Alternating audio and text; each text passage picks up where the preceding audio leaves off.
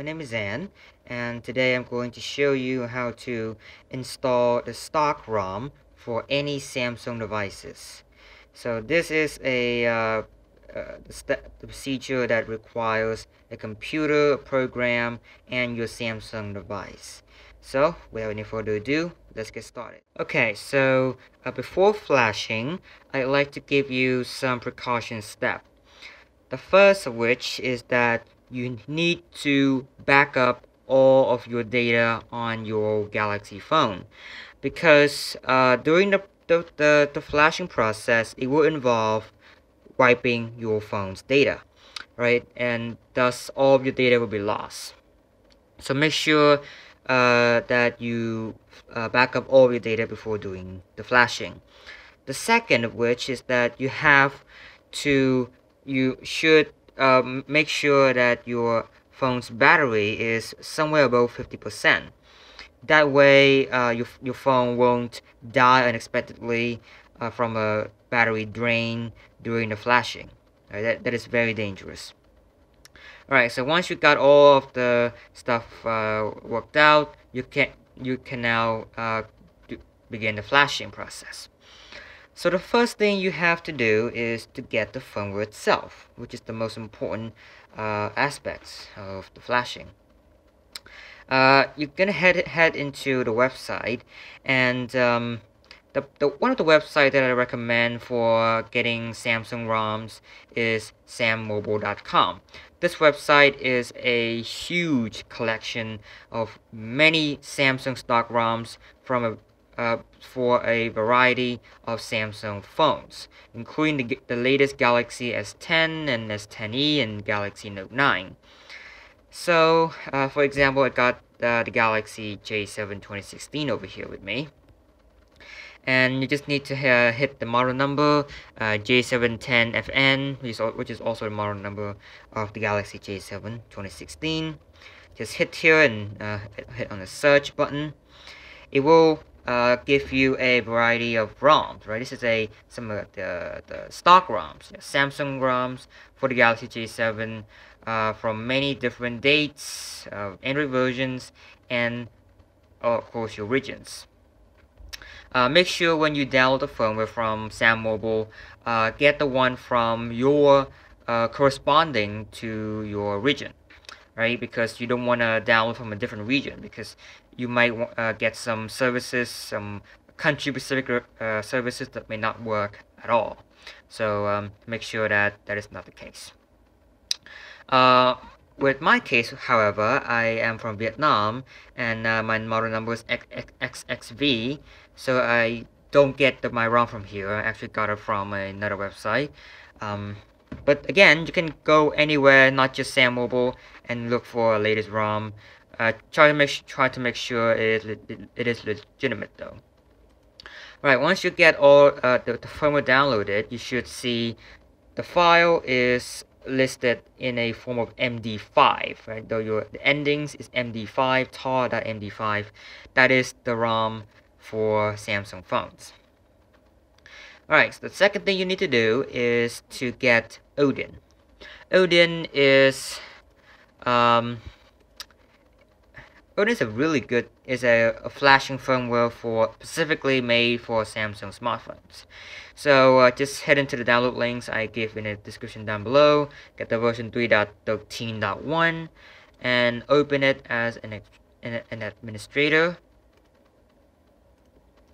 at this point, it should launch this kind of a window like this. Right? So, sorry. Right, so let's back, just get back to the Galaxy J7. The first thing you need to do is to reboot this phone into download mode. Uh, it's pretty easy. First of all, just uh, power off your phone. Right? Again, just try to do the backups and stuff as I said before.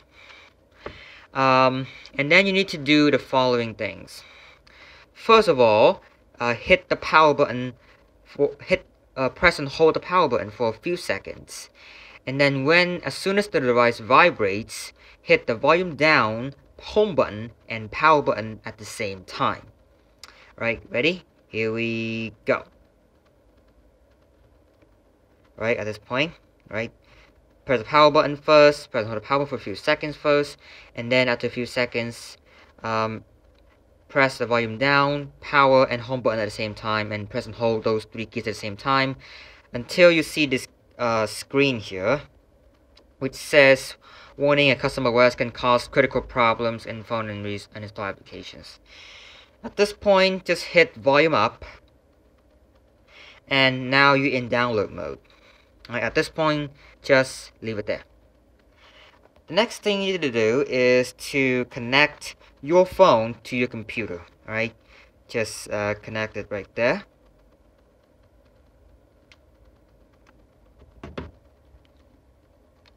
At this point in your computer, you will see the little green box been filled here. It says 0com7, uh, which says that it is recognized.